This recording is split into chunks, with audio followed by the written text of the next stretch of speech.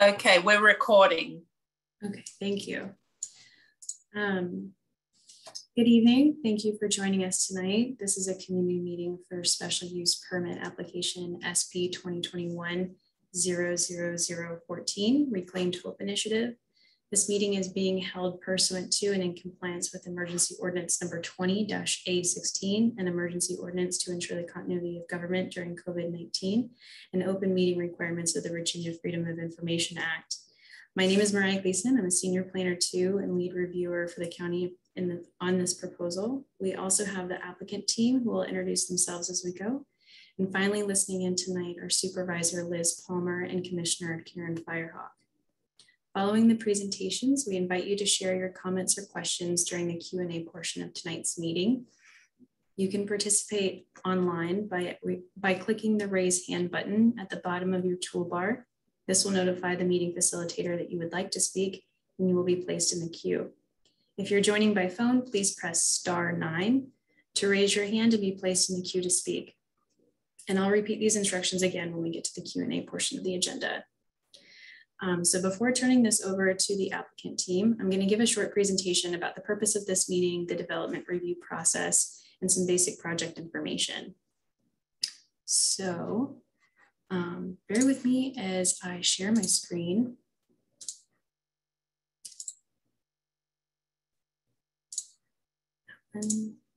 Okay. Let me know if you don't see anything. You should be seeing trees right now. Okay, great. Um, thank you for the head notes. Um, this. Okay, um, so again, my name is Mariah Gleason. I'm Senior Planner 2 in the Planning Division of Albemarle County. Um, if you've attended a community meeting in the past year, this presentation may look familiar to you. We use a standard template um, when talking about special use permits and similar projects at community meetings. So the purpose of community meetings relative to special use permits is that they provide a space to share information about the proposed project, the development review process, and relevant policies and regulations that might apply to the specific application. Community meetings are also a way for the applicant and the county to solicit public input on proposed projects. A summary of this input is included in the staff report that's reviewed by the Planning Commission and the Board of Supervisors. So in terms of how development works and um, the review process in the county, we have this graphic. And this image might be a bit fuzzy, but um, what it shows in colored blocks are stages of the county development process. I can talk more about the overall process, but the important takeaway here is that the, this project is at the beginning of the process. So the county zoning ordinance dictates what can be done by right on a property today. The county, um, county staff review proposed developments to make sure that they meet regulations contained in the zoning ordinance and protect public healthy, health, I'm sorry, public health, safety, and welfare. Legally, staff can't deny a by right use. Um, the review process for a by right use is called an administrative review. The process we're currently in is called a legislative review, which means that the project has to be approved by the Board of Supervisors. This is because the applicant is requesting a use on the property that, that is not a by right use, but is what is instead called a special use. So special use applications have a higher level of review. That includes review by the typical reviewing agencies and authorities, and authorities such as VDOT, um, Water and Sewer Authority, uh, the county engineer, fire rescue, E911. Um, it also includes review by the Planning Commission and Board of Supervisors. Um, the, the Planning Commission and Board of Supervisors consider special use applications at meetings that are referred to as public hearings. Public hearings include presentations by staff, the applicant, and a public comment period. So you are welcome to attend and comment on this project at those meetings as additional opportunities beyond this meeting tonight um, though I should say that no date has been set for either of those meetings yet. So when reviewing or considering a special use permit, the aspects or factors to be considered include four things um, that are listed here. The evaluation of whether the proposed use will create substantial detriment to adjacent parcels, whether the character of the nearby area is unchanged, um, whether the proposed special use is in harmony with the purpose and intent of the rural area in this case, and the consistency with the comprehensive plan. So before turning this over to the applicant, i am just going to share some introductory information about the proposal itself. The proposal is a request for day camp boarding camp uses on tax map parcels TMP 8823, which is this parcel seen here in about this area, and 8823E, which is this kind of L-shaped here. Um, the, proper, the subject properties are a total of 54 acres. Um, the, the proposal includes renovating existing residential structures to serve the use and approximately 14,000 square feet in additional development. Uh, new buildings include visitor cabins, communal structures, and the groundskeeper house that are proposed in the existing cleared areas on the subject property. There are no special exceptions to the county code that are being requested with this proposal. Um, the subject property does fall within, an, within the hardware agricultural forestal district. So this application will have an added technical review by the agricultural forestal district advisory committee. So in terms of the timeline of this particular application, comments were sent to the applicant, which are just staff review comments on August 11th, 2021. The applicant is planning to submit revised materials so they the application is currently in a period of deferral, which does not defer. The deferral only defers when the application goes to a public hearing. It doesn't defer the um, review of a proposal, it just defers when it goes to the uh, public hearing. So no public hearing with the Planning Commission or Board, or, or board of Supervisors has been set at this point. Um, and then just um, as we go through tonight, just please know that staff will be putting together a summary of the discussion from this meeting. If there are additional comments you wish to be included in the summary, um, please send your comments to me by Tuesday, September 14th, which is one week from tonight. That was the same date that was in the mailing notice that you received. And my email is provided below. Um, I'll also pull up this slide at the end after the um, discussion period, just so you if you don't get a chance to copy it down now, it will be up later. Okay. So with that, I'm going to turn it over to the applicants, Paul and Bettina Stevens, um, for their presentation. Thank you, Mariah, and thank you everybody who's on the call tonight. We appreciate your time. Um, my name is Bettina Stevens, and this is my husband, Paul Stevens. We are the co-founders of Reclaimed Hope Initiative, which is a local nonprofit here in Charlottesville that serves foster, adoptive, and special needs families.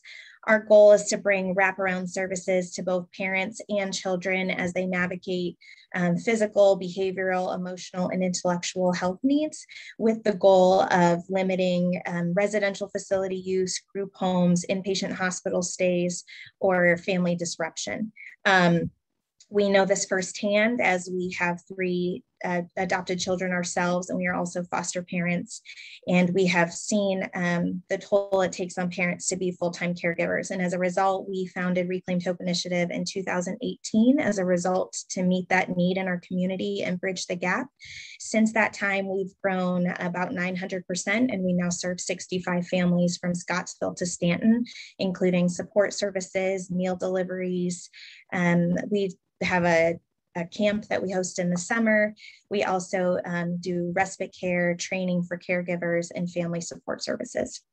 Um, additionally, tonight we have one of our board members with us, Marnie Allen, who will be joining us for the Q&A portion to share what she's seen as a board member and how we can bridge the gap, as well as what something like this would mean to us as a community, especially for the parents and families that we serve.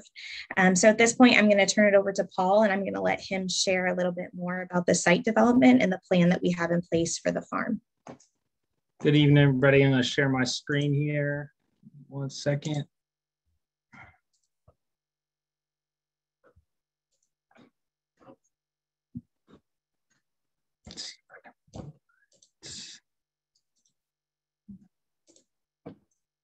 All right. So, the farm is the idea to create a respite retreat for families here in Charlottesville and Albemarle County, um, with the idea of having um, upper and lower parcels that would serve parents and children separately. So, many times, because of the needs that these children present with, whether it's physical, behavioral, emotional, or intellectual, it often gives parents very little time to be able to enjoy time away or for a family to enjoy a vacation or a trip because their needs are so severe. So the idea that we are um, presenting to create the farm is a retreat center for an entire family. So the idea that um, parents and children would come to one locality. The parents would have a completely separate respite portion, and the children would have more of um, a therapeutic setting to be able to meet their needs. So it would be more of like a reservation. So parent families could come and stay for one night or a weekend with the goal of creating respite for the parents and also creating space for the kids in a therapeutic environment where um, their emotional, physical, and mental health needs can be met.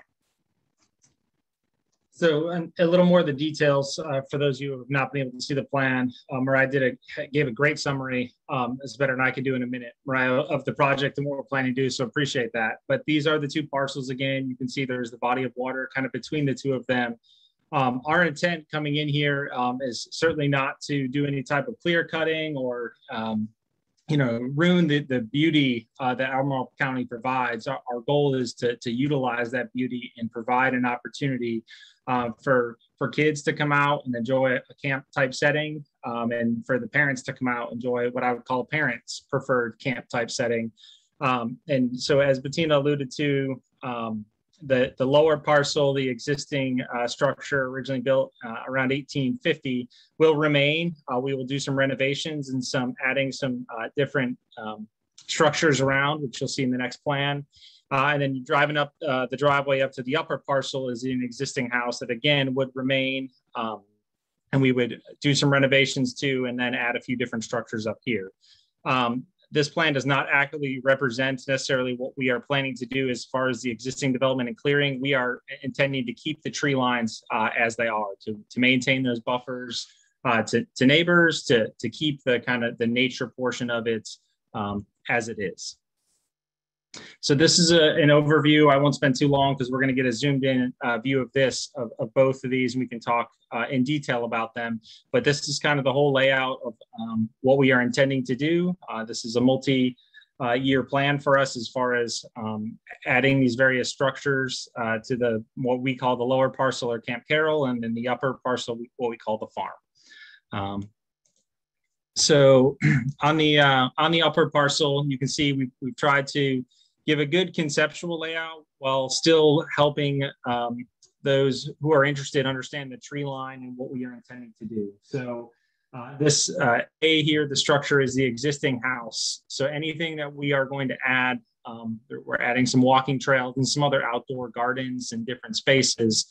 Uh, there are kind of three other actual structures uh, that would be added, and that's uh, kind of the groundskeeper house. Um, over here uh, R, what we're calling the uh, kind of small event space, and then B is kind of our the self care centers. So this would kind of be the the hub for parents to kind of come and stay. This would kind of where they would get to do their kind of camp activities, and uh, that being um, counseling or some type of exercise or uh, yoga or just spending time outside, whatever it is they feel like they need to, to kind of recharge. Uh, so that's the biggest of the structures. And then um, the the small event center our, our intent there is again not to host any kind of regular um, daily large events but um, when you read through the our proposal um, there's a, a, few times a year is when we're talking about bringing uh, larger groups of people um, that are either associated directly with RHI or in affiliation with um, sorry Reclaimed Hope Initiative uh, to the property. Uh, and then I will switch the lower parcel. Uh, so this again is uh, meant for the kids who would come to be able to enjoy. And these would be kids that are in the same uh, family unit as the, the adults that are on the upper parcel. Um, they would kind of come and again, uh, staying in the main house and keeping the other existing structure here, adding some, some flat kind of play areas, some paved areas, a pool. These are the um, the cabins that are being proposed um, for the kids, as well as the playground. And then the largest additional structure down here is, um, is the hall. It's kind of the, the main hub, kind of the heart of the of the kids' space uh, where they would come, uh, they would kind of eat, where they would gather, uh, where you'd be able to kind of hold uh, all the kids. Um, and when I say all the kids, we can, I'm, I'm, sure there'll be questions about how many. There's some details in our proposal about how many uh, campers uh, we would intend to have or be allowed to have. Um, the county, we've had some very good back and forth conversation. Um, and Mariah can probably speak to some of that as far as um, conditions on a special use permit. Um, but this is ultimately where we've landed with our kind of proposal of what we would hope to do um, with the two pieces of property, uh, bringing them together to be uh, kind of under one name with kind of two um, different functions, but that are meant to be used in unison um, by a by a family unit. Yeah, and I will say the goal is to really create um, a calming therapeutic environment. So we have had conversations with other community members um, in regards to noise the goal is really to create a calming space, both lower and upper, um, that will allow families to come. In terms of our proposal, we've said that we would have no more than six household families at any given time. So that would be, you know, a total of 12 adults and then whatever children they are bringing with them, but it would not include extended family or family reunions or larger gatherings in that regard um, with the goal of keeping it small and intimate so families can really have more space. And the goal is really to have healing through nature so that children can have space to um, access therapeutic interventions and so can parents, but in a camp like setting through water, trees, trails, um, and the other things that we're proposing. Um, in terms of our summer camp, because of the demographic we serve, many of these children are high needs. And so the goal is not to create a camp with a lot of campers, but a smaller um, camp where we're able to actually meet the needs of the children on an individual level. So, for example, the camp that we hosted this last summer, we hosted at Waldorf School. We had a maximum of 35 children for the entire camp with no more than 20 kids in a given week. Our goal long term would not be no more than 40 kids that we would serve at the camp long term, with the hope of being able to again individual therapeutic needs for each child, um, and also creating safe spaces for them to enjoy nature and have an existing day camp similar to their peers. So the, the goal that this is meeting is many of the children we serve are unable to attend an existing day camp in this community because their needs are so high. So our goal is to bridge that gap and allow children to have similar relationships as peers um, similar experiences as peers, but with the individual therapeutic interventions that they need to feel successful. So again, we just want to reiterate the goal is to keep as much of that buffer between neighbors to minimize noise and as and really just to meet these families in a relaxing therapeutic way. Um, I'm not sure if you've ever parented a child with special needs or mental health needs, but um, I will say we all want a quiet house. And so the goal of coming to the farm would be to create more of that quiet space for both families and children. Um, in terms of staffing, we would probably only have the groundskeeper living on the uh, premises year round in order to help with maintenance and keeping things cleared and um, up to date. The goal would be um, to then have a kind of a variable flux of how many families would be coming in, again, with a maximum of six household families. But the um, in terms of our layout, we anticipate there would be some weeks where we have no families and some weeks where we have just one or two. Um, and then camp would be kind of a solid six weeks in the summer where we would have that higher number of children, a maximum of 40, um, which would be for those six to eight weeks over the course of the summer.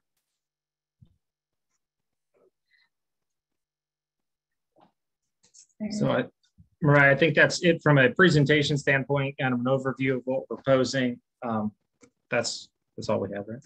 Yeah, and I was just going to say the only revision that we plan to submit is just looking a little bit more at the site plan and what we are proposing to build.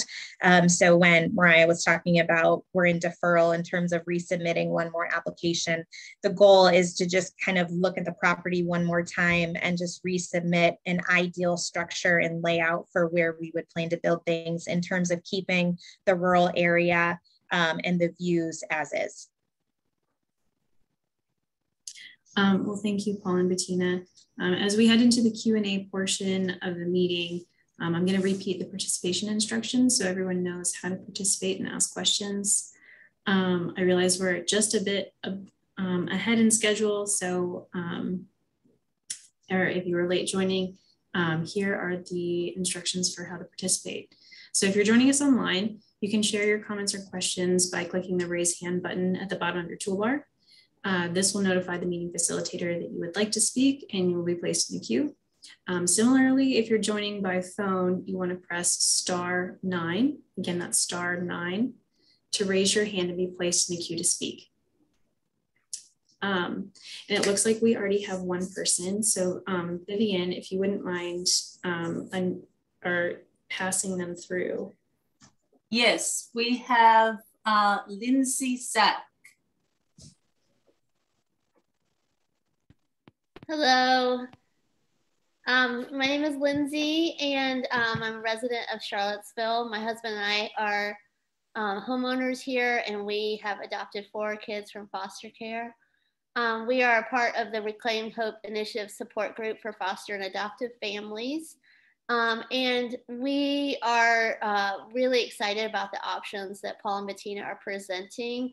We, uh, our 10 year old son this summer needed to needed a higher level of care.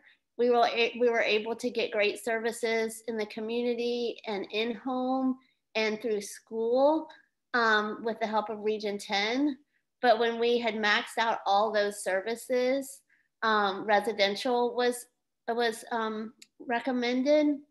And there is not a residential facility for a 10 year old child in Charlottesville um, and you have to be placed over an hour outside of the city to be in residential at that age group. Um, and so this would, uh, and, and another, so, so it'd be wonderful to keep kids local that have, um, that have mental health and behavioral needs. The other part is there is no bridge between in-home in-home services and residential. So if you can't there's no respite option that that would mediate between those two. So if you can't if you max out at in-home you're immediately in residential when i think a lot of would have been helpful for our family to have an intermediate step where we could take some breaks. Because when your child has such high needs there is no one to come and help give you a break.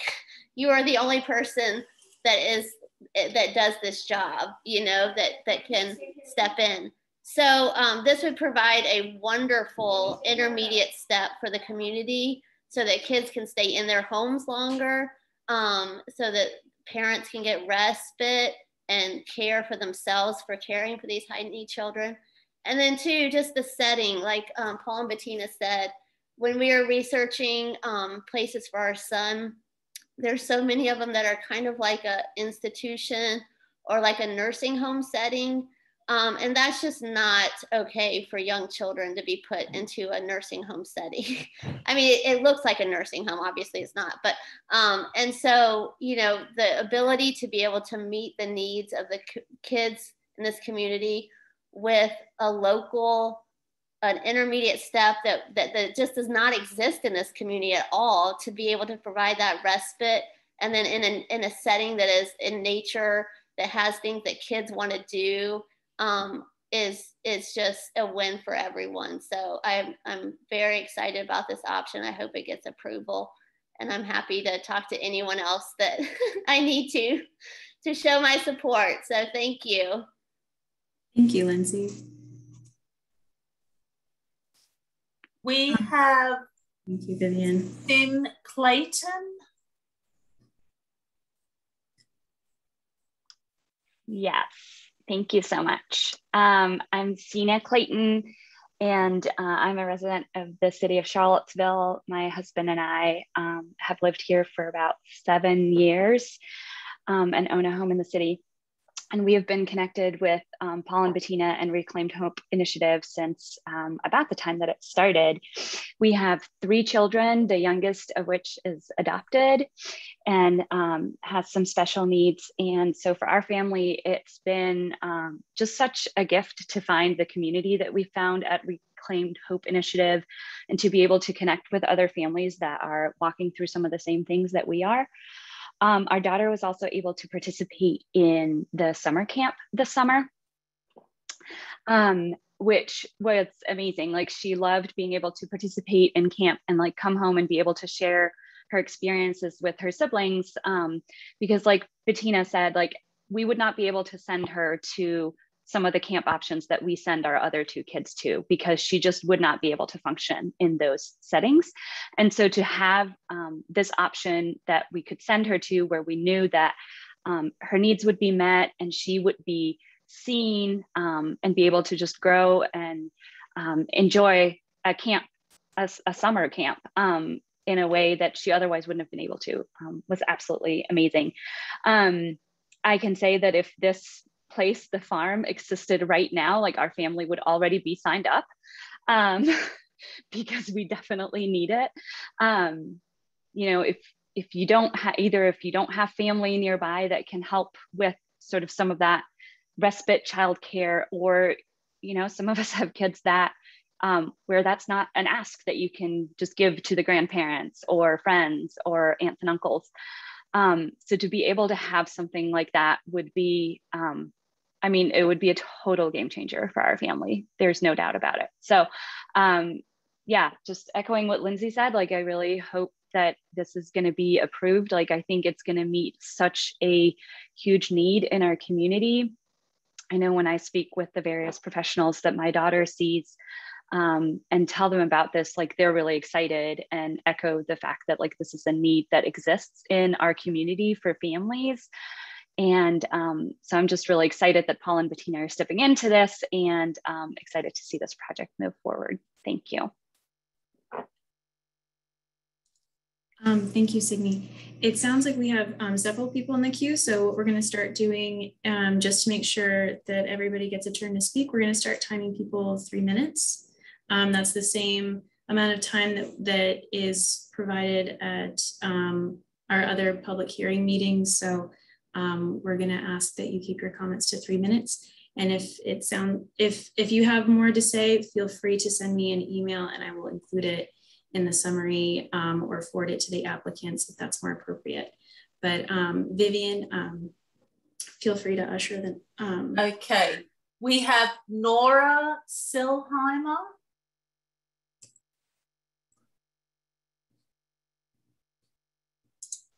If you can unmute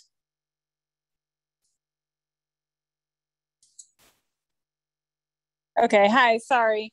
Can can you hear me now? Yes. Okay. Hi, um, my name is Nora Seilheimer and I live um, on an adjoining property.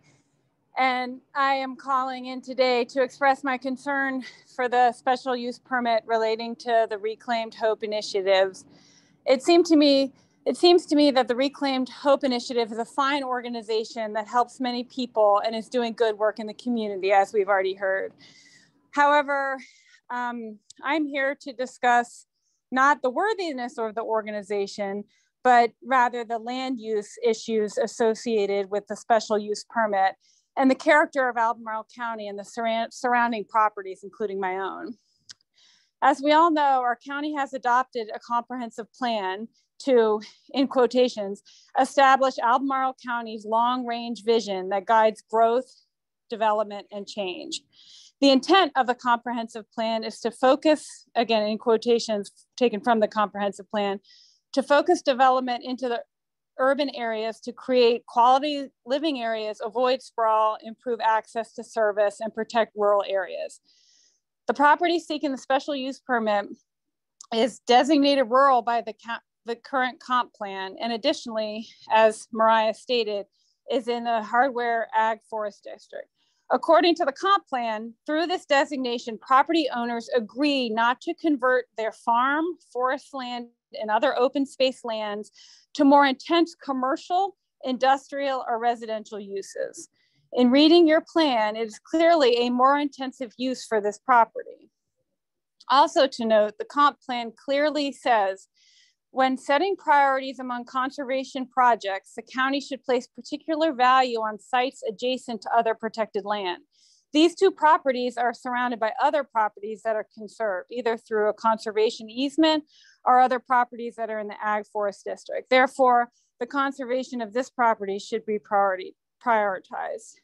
These are not my not only my beliefs, but these are points clearly made by the comprehensive plan.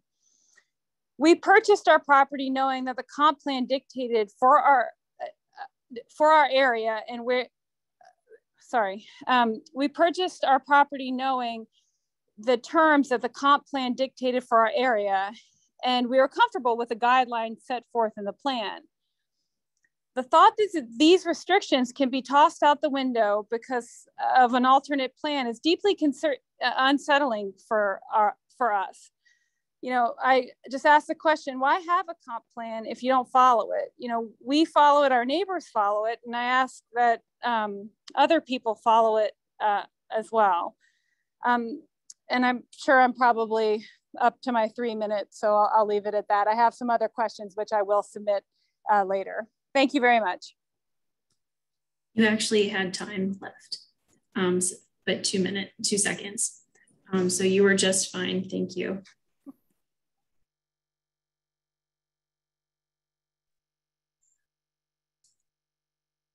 We have Chris Hawk.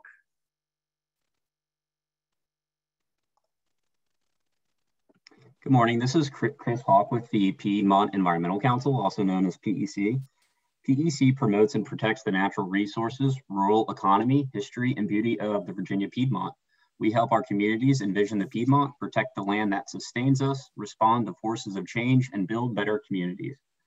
PEC views environmental education and access as integral to our mission, and this application appears to share similar goals for trauma-induced children and families. The following comments are intended to address our concerns regarding land use planning, as special use permits typically run with the land and not with the user. While the mission appears to provide environmental education and access, the current proposal could be strengthened by incorporating the following five recommendations that aim to address location, size, and scope limitations. The first, adhering to the hardware AFD. The subject property is included within the AFD, which was last renewed in 2019 and is up for its next renewal in 2024. PEC believes that the current proposal is not within keeping of the AFD requirements nor those necessary for AFD withdrawal. Number two, limiting on-site uses to day camp activities. We believe the special use permit should be limited to only summer camp day camp activities, emphasizing that the subject property is only 54 acres and has limited ability for the buffering and screening needed to protect the adjoining area, neighboring properties, and the hardware AFD from the impacts of year-round board, boarding camp and event venue activities. The small size of the subject property is further, further limited by the on-site prime and locally important agricultural soils, steep slopes, intact forested land, a historic home, and a pond. The proposed boarding camp and special events could have similar impacts to those of transient lodging, wedding venues, and event centers. Number three, limiting new building footprints. The proposal includes over 13,000 square feet of new buildings. Given the on-site soils inclusion within the AFD and county staff's recommendations, PEC recommends that a little to no additional square footage be included on site. New construction could impact the property's future for agricultural and forestal use no amplified noise. There should be no amplified noise permitted on site other than what is necessary for emergency announcements. And the last, trip generation and shared transportation. In accordance with the VDOT's request for trip generation data, PEC further recommends that the application include a shared use transportation plan, such as buses and carpooling, that are protected, protective of the public health, safety, and welfare of those traveling along Route 29 and existing uh, adjoining landowners. Depending on trip generation, a commercial entrance and turn lanes could be required by VDOT. Limiting on-site travel to a majority shared transportation could also reduce the impacts from parking areas that, quote, would not be expected in a rural area and would negatively impact the character of the area, end quote. Thank you for taking the time to listen to our comments this evening. We would be um, open to further discussing with the applicant and county staff please feel free to reach out with to me with any questions.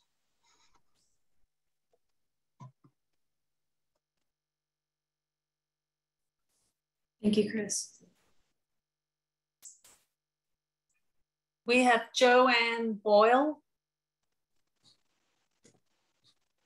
Hi, uh, my name is Joanne Boyle, and I, as well as Sina and Lindsay, have been a part of um, uh, Reclaimed Hope initiative for a couple of years now through the wonderful works of Bettina and Paul. And um, I mean, I think the thing that I want to just add as a new parent of adopted um, child uh, a couple years ago was that I had no um, way to kind of figure it all out. And until I met Bettina and Paul, um, their grace, their graciousness in terms of just guiding um, parents through the whole ordeal of therapy, occupational, physical, developmental peds, whatever it might be, just understanding what comes along with adoption and foster care.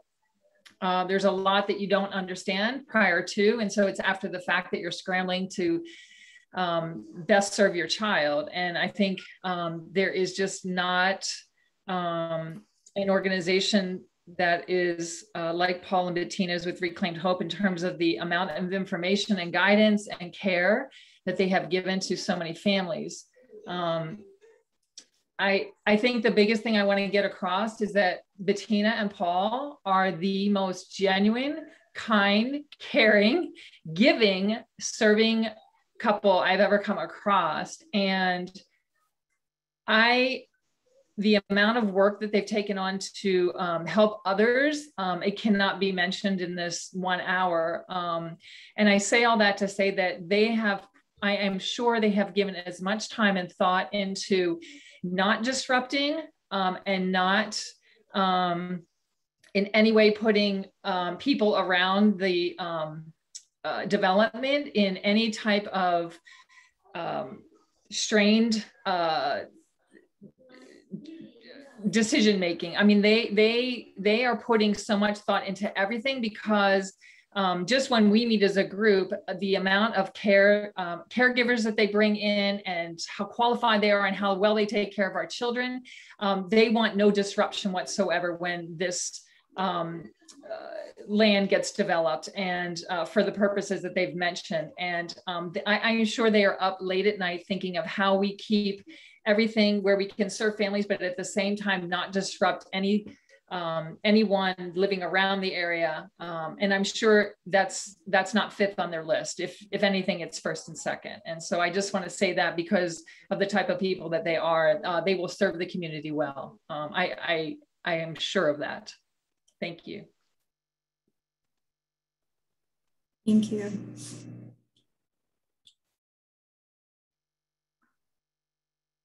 We have Bernard Van Rosen. Hey, good evening, everybody. This is Baron Van Royen. Uh, oh, I live in an adjacent parcel, and uh, again, want to echo, I guess, Nora and other people's comments that, you know, very supportive of the organization and the mission, and nothing that I think I or other neighbors have to say or raise as questions or concerns is meant as a negative statement on the camp or what you guys are doing. Obviously, tremendous work. It's more about this lot, this development plan, the ag district, et cetera, uh, rather than the initiative itself. I had sort of a two part question or statement, and one was about maybe for the county, uh, how much consideration was being given to the ability to convert the property back to ag forestal if the camp eventually either outgrew the property or for you know unfortunate circumstances it didn't work out. I see basketball court, parking for a large number of cars, pool, uh, an emergency vehicle path to accommodate vehicles up to 80,000 pounds. It seems like a lot of hard, non-porous surfaces, permanent structures, things like that, that are difficult to convert back. And I asked the county to consider that. And the second one was maybe more for the applicants, again, just sort of clarifying question. Maybe that isn't consistent with the format of the meeting, but when I read through the proposal at peak, and I understand how you have to apply for one thing, even if you don't intend to use all of it, but my reading of it is that for 12 weeks out of the year, there could be up to 65 or 70 campers and counselors uh, with multiple trips per day. So 150 ish cars per day, maximal potential uh, during the day camp. During the non camp events, up to eight times a year, 75 people. And then community events, 50 people, four weeks out of the year. meaning 32 weeks out of the year, there'd be 50 plus people on a 50 acre parcel that presently houses like six people. It strikes me as a highly intensive use. And you spoke earlier, uh, Bettina in particular, about the quietness, the respite. I think, again, just echoing neighbors' comments, like this is a very rural and quiet area. And there's one use being discussed about this, you know, retreat.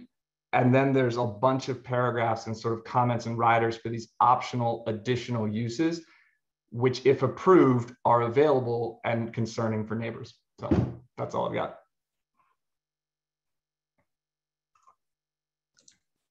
Mariah, do you want us to respond to that, answer that, the question?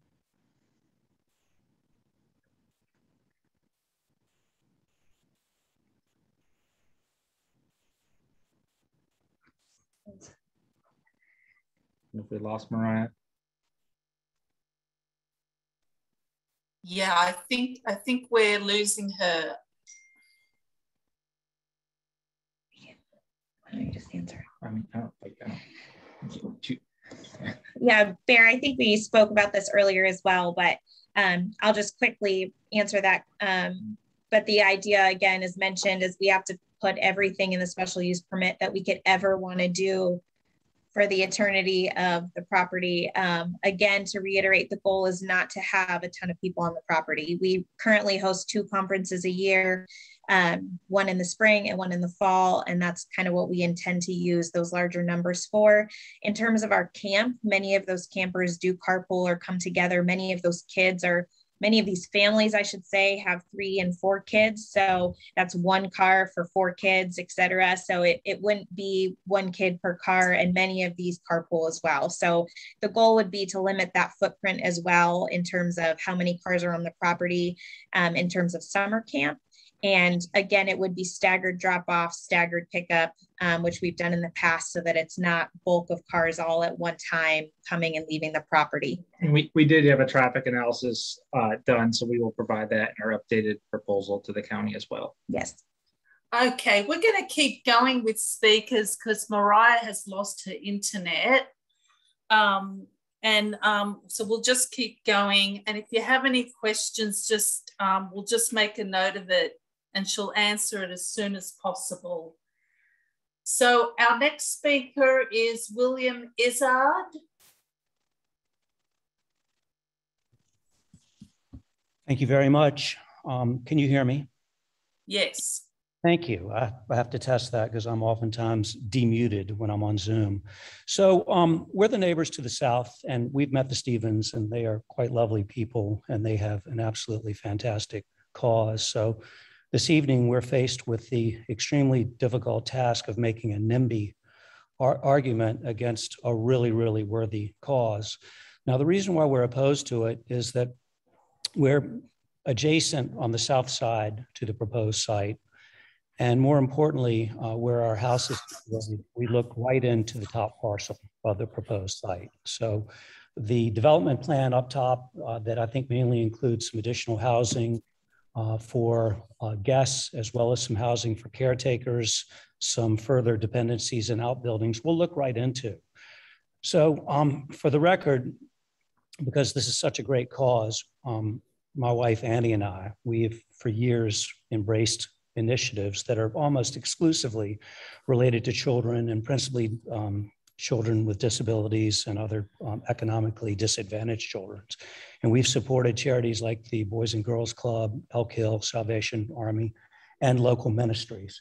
So we're, we're very much in favor of the cause, but we're very much not in favor of the location. And the reason why we object to it, not only because they're, they would be our neighbors, but this is very clearly a rural zone it's in a, a special ag forest zone. These are declining in Albemarle County with the largely uncontrolled development here. Um, Southern Albemarle, uh, North Garden, is a dark part of the county.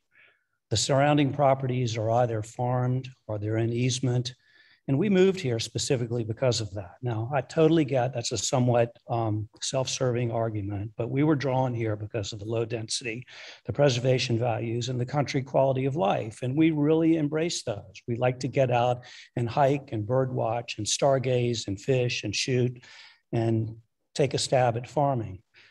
Another thing that I think we need to look really, really carefully at, and we'll just recount our struggle down here when we when we moved here. This is an incredibly dry part of the county. Um, we had to hire a geologist to help us find water.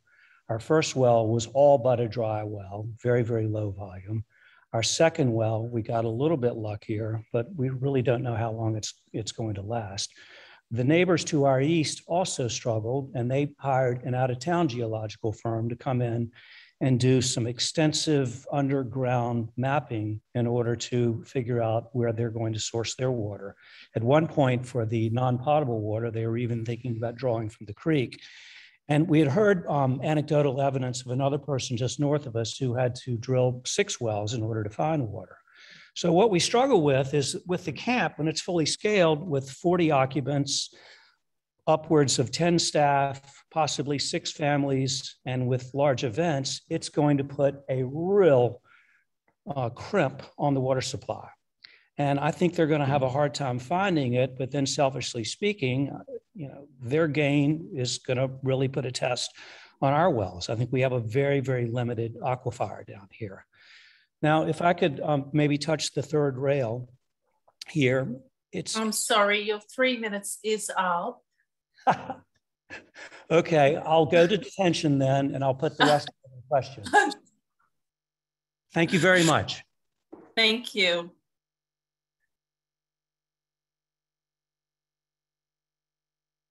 Our next speaker is Melanie.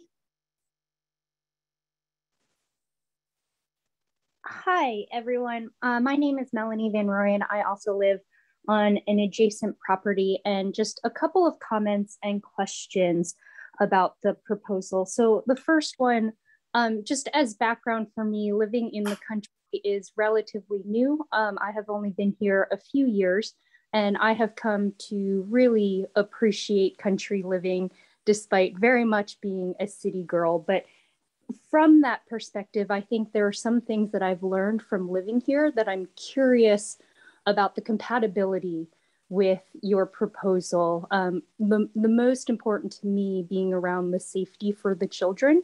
Um, one of the things that I am not accustomed to, but I have become accustomed to living here, is um, the local wildlife and um, hunting in the area.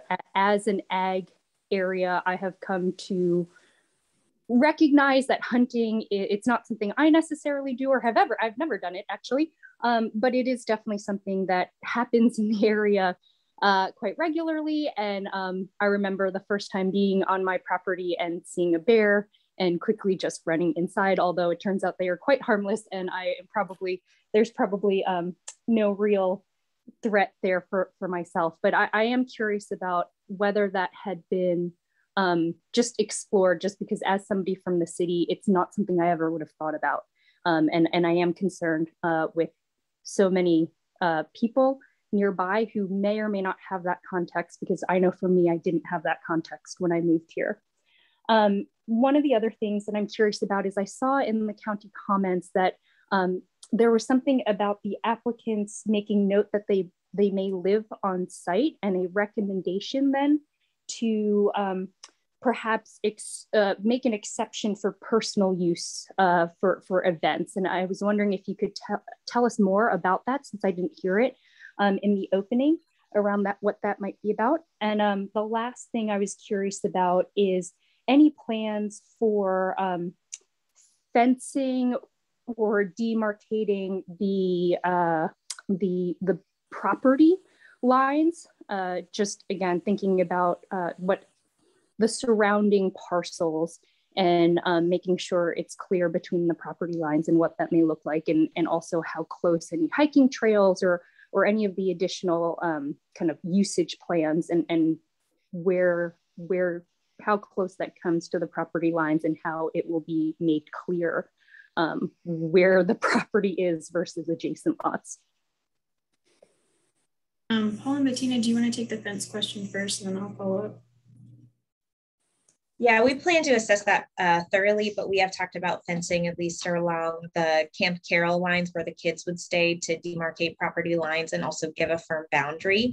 Um, in terms of safety, we staff um, one to two caregivers, so one caregiver for two children. So we make sure that safety is a high priority for these kids, um, especially since many of them are non-mobile or um, have difficulty with mobility. So we would make sure that safety is high, but we're definitely going to cover that base as well um, a little bit in more detail in our um, next um, proposal.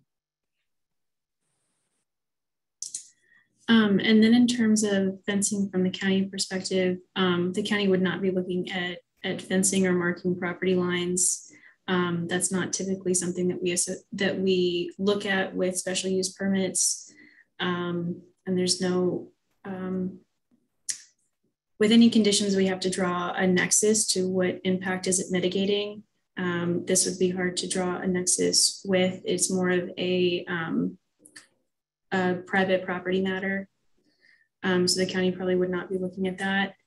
Um, and then in terms of the, um, if, if the Stevens decided to use one of the houses as a residential house um, for their own families, what we want to avoid is a condition that's placed on the camp being um, restrictive to their family um, and residential use of the property if it's a phased uh, special use permit. So for example, if they really only developed the lower portion for the kids and they didn't have that adult portion um, associated with it and they lived in that top portion, what we wouldn't want to have is um, restricting them from having a, a family Christmas gathering or, or holiday gathering of any sort denomination.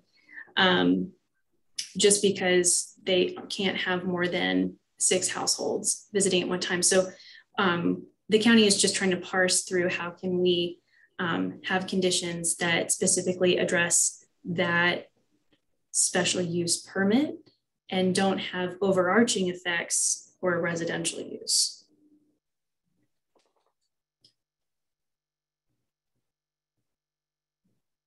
Um, so I think Melanie, did we answer all of the questions?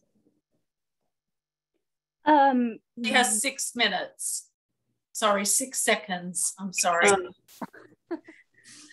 I, I can I can email any more questions and comments as follow up. Thank you. Thank you. Thank you, Melanie. We have Becky Go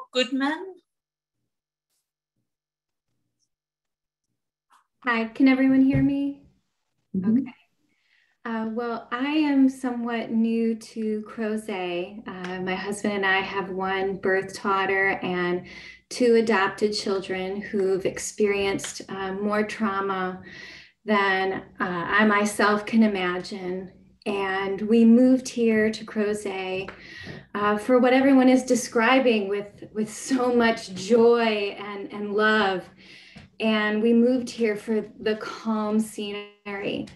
And we we lucked out in meeting Paul and Bettina and discovering what support truly feels like.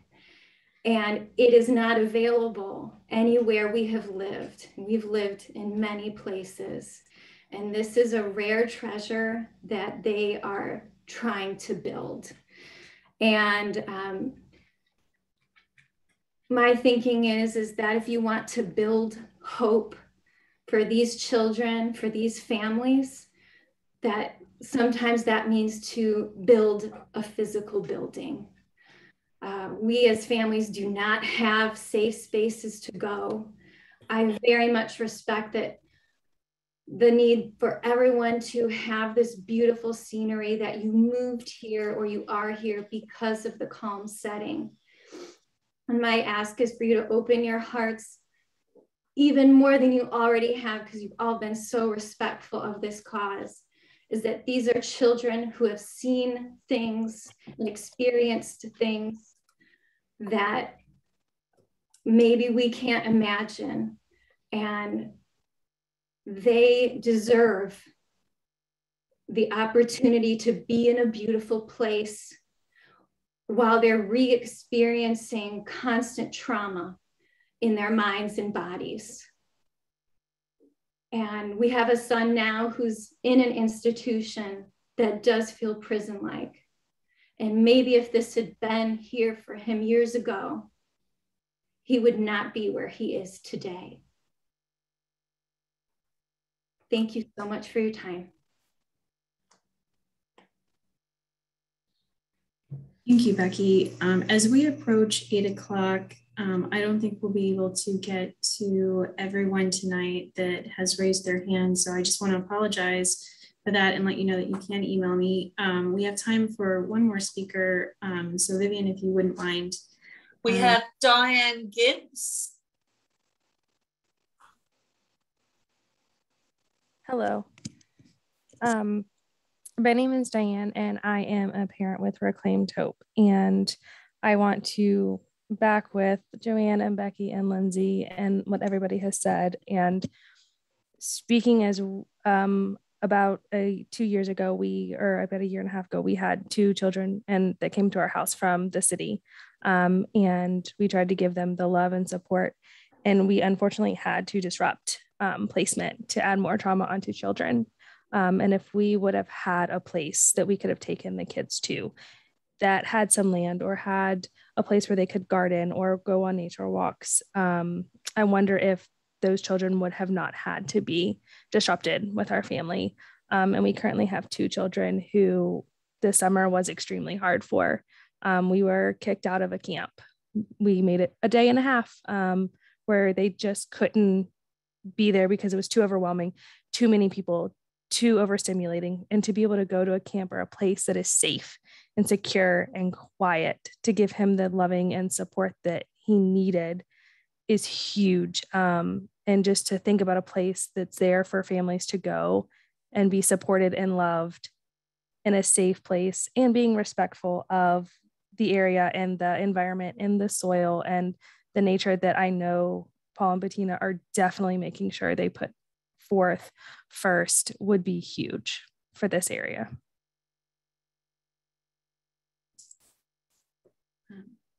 Thank you, Diane. Um, with that, we're going to be respectful of everybody's time. Um, thank you all so much for joining us. And again, if we did not get to you tonight, um, please feel free to email me and I will pull up my email now.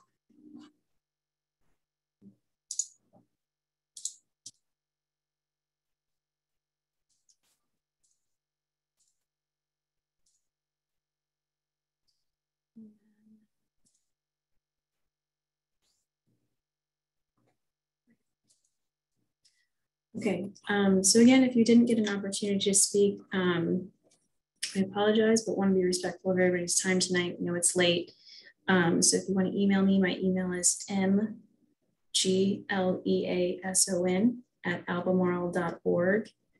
Um, and if you email me, I will be putting together a, um, a distribute an email distribution list and we'll add you to that.